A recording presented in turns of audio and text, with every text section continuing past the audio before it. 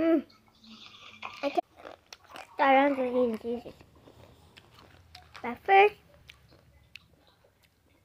this cheese is spicy. Where you at?